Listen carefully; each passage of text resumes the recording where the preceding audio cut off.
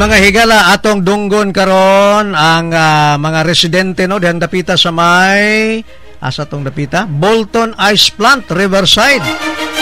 Minautas mga tao sa pagkakaroon. Ako gusto ko makadungog. Labi na kuno na LGBT mo tingog para balance ang atong perspektibo mga higala. Kasama ang Dodong Ren Ren watch the public spouse. Correct ka dyan. Pero pero kung ano na nga opinion pero sa talaga sa na tungkol anong naitado lagi dito sa pangkasot sa kamantiyan na dapat i-legalize na yan.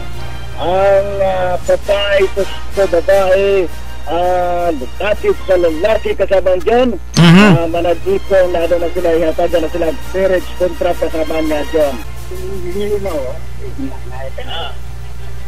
kayo ay dyan yung mga pagka ang sistema. Ah, Mga din na doon. Again, kung ano sa inyo na mga pagmitabo.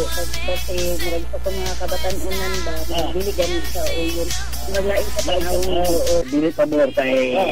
Sulat sa... Balaan kasulatan nga dautan ang babae sa babae, lalaki sa lalaki. Kano sa barangay, ang atong pagkuhan sa opinion sa atong mga kaisuman karon dito ba, alang sa Secretary Chris Kasarang Dito, rin na ba sa Tasas, Arunan. Okay, salamat kayo sa atong STV Barangay team.